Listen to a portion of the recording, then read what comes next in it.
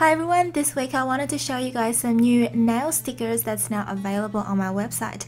They are colorful, easy to apply and looks super cute on your nails. This new type of nail stickers are very thin and there is a special way to apply them onto your nails. They're called reverse stickers. Keep watching to see how it works. As always, apply base coat to protect your nails. Since I'm using fairy stickers today, I wanted to choose a magical color, something that feels enchanted, so I went with a silver glitter nail polish with added chunky glitters.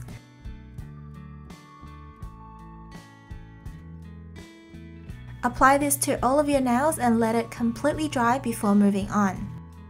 Next, we're gonna get the stickers ready. See how the sticker is between the clear film and the backing paper?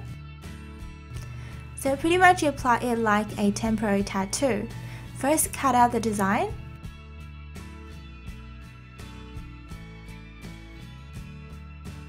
Then remove the backing paper. Place the design over the nail to a position you desire. Then press the stickers onto the nail. Rock it back and forth on the nail to help transfer it on. Once it's on, press down any areas that's sticking up and that's it. So now choose a different design for your other fingers. These sticker sheets are much more larger than normal nail sticker sheets, so you get a lot more designs which means you can do many nail art sessions with them. And I like how colorful they are that you don't really need any more decorations to make the nails look good. When you're done, apply top coat to secure the stickers in place for a lasting finish. You can find many more nail stickers on my website linked below.